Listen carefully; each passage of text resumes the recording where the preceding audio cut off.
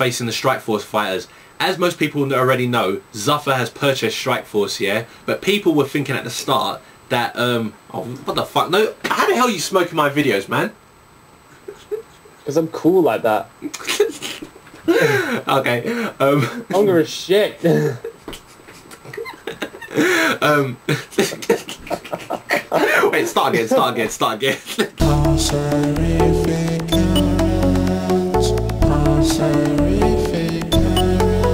I'm Waits, 10th here, and I'm here, yeah, with Feral Instincts. How's it going, guys? And um, what we're going to talk about today, yeah, is um, U UFC fighters versus Strikeforce fighters. Because to start it off, yeah, people have been, uh, everyone knows, yeah, that um, Zuffa has bought Strikeforce, and everyone thought at the start, yeah, that meant, yeah, that UFC was merging with Strikeforce, and all the Strikeforce fighters was going to be straight into the UFC. Did you think that as well? You know what? Yeah. I, I actually did to begin with. I thought that since um, Zuffa and the UFC bought out Strikeforce, I did immediately start to think like, you know, Strikeforce fighters would start fighting UFC fighters. It's kind of like, That's, ex- that's exactly you know, like belt merger or something. Kind of like the voting went at, at the most recent Strikeforce event. I know, man. That's exactly um, what everyone thought. I thought it as well, and I went, I went so hyper. It was so perfect. But um, unfortunately, that didn't happen, right? Yeah. But I've always been like thinking in the back of my head, yeah, that that will happen soon. Because that's the same way how it was with um, WEC. WEC was their own company. Zuffa then then- bought, bought the WEC, and then later on, WEC merges with UFC.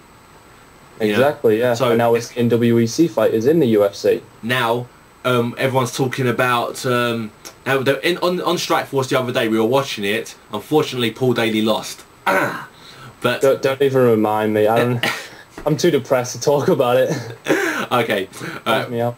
but during that Strikeforce, yeah, they were um, given a poll asking um, how, who wants to see um, UFC fighters face Strikeforce fighters. Ninety six percent said um, yes. Four percent said no. I honestly think those four percent are morons. To be honest with you, that would actually be a really good thing. I mean, could you imagine Nick Diaz versus George St Pierre? I know that, that's that's exactly that's exactly what I was just about to talk about. One of the Strikeforce guys was saying was saying a brilliant match. He said Cung Le versus Anderson Silva. That would be a good fight. That would be a terrific fight. That would be an amazing fight. I could picture how that one went with Cung Le doing his crazy little side kicks and Anderson Silva with his front kicks that knocks out Vitor Belfort.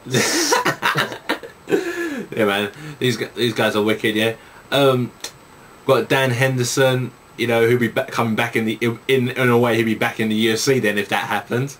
Yeah, that actually made me think to myself, like, since the UFC kicked out Paul Daley because of the incident with Josh Koscheck, Mhm. what would happen with him since you know since the UFC has bought out Strikeforce? I think I I don't know. I, that I'm not really sure. All I know is that Dane, um, Paul Daley was actually considering to just go into the to BAMMA, you know, because they say that they respect the work he puts in and everything there, Yeah, you know, and he could have been champion if he'd made the weight cut. yeah, But man, yeah. Paul, Paul Daley is a really good fighter, and he did actually put on a very good show against Nick Diaz. I know, and you know, and you know what Dana White tw- um, tw- tweeted earlier. He respected uh, his performance. He liked it. Yeah, I I, honestly couldn't see. I, I can't think of anyone who wouldn't like that performance. It was a very good fight, back and forth, back and forth. They both got rocked on multiple occasions. I Although know. I do think the stoppage was a little bit premature, but overall it was a good fight. I, I I can't say the fight was the, the stoppage was premature. Paul did fall down very wobbly. It he, looked like he got blown over by thin air. he He was, went, I, I push you off now, now I fall over. You know But- what I mean? but man, UFC f- um, fighters versus Strikeforce fighters. Everyone's been waiting for that. I mean, Yeah. one of the all right, what I don't know if um, Fedor Emelianenko's still s- signed to Strikeforce, but can you imagine? I think I've heard that he might be retiring now since his loss to Fabricio Werdum and uh, Bigfoot Silva. Ah, I don't know if that's true, but that's something that I've heard. And imagine Bigfoot Silva versus Cain Velasquez. That would be a good fight right there. Although I have to say Cain Velasquez would probably win, but that would be a very good fight. A very, very good fight. I But that's my personal opinion. yeah. I think a- Velasquez could win. Anyone can agree or disagree, but that's just my opinion. the thing is, yeah, with um U- UFC, right? Yeah, because quite a lot of people, yeah, think that UFC is clearly just a higher level than Strikeforce, yeah. I don't believe that's always the case, yeah. UFC's got fantastic fighters, but people need to realise Strikeforce has brilliant fighters as well. So my personal Yeah, yeah. opinion is they definitely need to do this. UFC fighters versus Strikeforce fighters. Yeah, to see who, like, which of the top level fighters in the UFC can match up against the top level fighters, the, the top level fighters of Strikeforce to see who is ultimately the pound for pound best in the world. Yep. Pound for pound. Pound for pound, bro. Man, we we everyone's waiting for the big match, which is Anderson Silva versus GSP. But Oh, GSP yeah. versus Nick Diaz, Cung Le versus Anderson Silva, that's pretty brilliant as well. Yeah. The Thing is, is Cung Le even still fighting? He's not fought since June 2010. I honestly couldn't tell you. I haven't seen anything on him recently. I've seen little clips of him here and there, you know, backstage talking to people and giving interviews and stuff. But other than that, I haven't heard any word of a of a new bout happening. Well, we- well, we're gonna have to come back to that one later on, though. But um, I want to ask you guys, yeah, what do you think here about um, UFC fighters, yeah, facing um, Strikeforce fighters? Because my, in my personal opinion, it'd be fantastic. This is how they should do it. Because since how the companies are still running independently on their own, Strikeforce is still doing their own thing. Although they're owned by um, Zuffa, um, Dana White has given Scott Coker you know, the means to do everything that he still wants, and UFC do what they want, yeah? What I believe they should do is at least one event every two months, maybe just one event every two months, they have the UFC fighters and Strikeforce fighters come into the same arena and they sort up, they sort out fights between them. Yeah. That, that that's that's that's how I believe they should do it. Is that how you think they should do it? That that actually would sound like a very good idea. Like they just set up the whole like this whole separate stadium that just like commemorates the whole collision of Strikeforce and UFC fighters, and then like you said, once every couple months or so, they just put on this fight card of UFC fighters versus Strikeforce fighters. That would actually be really good. And then as time progresses, and depending on how well the community receives it, maybe then they start doing some uh, title merging fights or something. Title merging. That sounds pretty brilliant. Yeah. The one thing I also cu- the, the one thing I'm glad about that Strikeforce is on UK TV now is I get to see some Yeah. of the, the ladies fighting, and you know, yeah, that I'm a fan of Cris Cyborg. I know you were actually telling me on Skype about how Cris Cyborg would just murder anyone. Like if you had a girlfriend who was a MMA fighter, you're just like, no, Yeah, don't basic, fight Cyborg. basically, Don't- guys. Yeah. I'll tell you. I'll tell you guys. Yeah, what I said to him. Yeah, yesterday.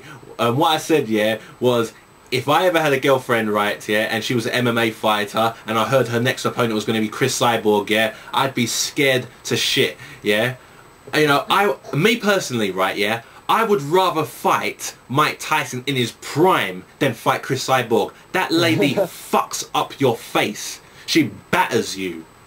Fuck. I, I am not kidding. Yeah. You know what? I haven't really seen anything on Cris Cyborg. Like I haven't seen. just just watch just watch the video fighters. and listen. Just watch But the yeah. video, yeah, between her and Jan Finney. Watch the video Yeah. between Jan, uh, her and Jan Finney. That's the Si- beat Since down. you've been talking about it, you, you make me want to go out and like look up some of her fights because she sounds very dangerous. She is man. She but she battered Jan Finney. She battered her. Not it was it was it was um Sherdog's beat down of the year. Really? Yeah. So I'm that- to look that up then. Yeah. So we've got everything about um, UFC and Strikeforce out the way, yeah? Why don't we talk about something a little qu- quick? Um, all right, um, let's talk a bit about um, UFC 129. Are you hyped for UFC 129? I would definitely say so. Yeah, there's been a lot of hype surrounding that. I mean, in a sense, UFC 120 129, sorry, is sort of a title merger. Like you have the previous champion of Strikeforce now coming for the UFC title against George St. Pierre. So in a way, it is kind of a Strikeforce versus UFC bout when you think about it. Yeah, it, it definitely it definitely is, and um, obviously we want more of that to happen. But right now we're going to have to deal with just Jake Shields versus GSP, and I believe it's going to be a fantastic fight. These are two well-rounded fighters, really well-rounded, and it's someone who's really going to test GSP's wrestling to the max. You know what I mean? And before that, we have the co-main event, yeah, which is one of my favourite fighters, Jose Aldo, yeah. He's going to face Mark Hominick. Mark Hominick is probably going to be the most dangerous striker he's ever faced, and, but, and you know, he's really going to test Jose Aldo's striking. This is going to be a fantastic match. I can see 129 being a very good lineup. I can picture a lot of good fights happening there, especially the the title match. I know, and then we also got Randy Couture versus Machida. Who do you think is going to win out of them two?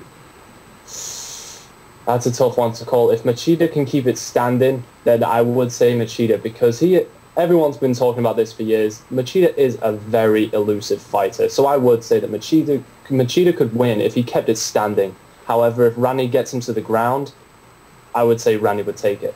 The thing is, Ra- Randy's got Randy's got pretty good stand up when he's doing his dirty boxing. His dirty boxing is disgusting. So Yeah, not only does not only does Machida has to keep it standing, he has to keep a distance. But I don't think Yeah, Randy's going to allow him keep that, distance. That like two inch So- distance or something. Yeah. So for my prediction, I'm going to have to say Randy's got this one.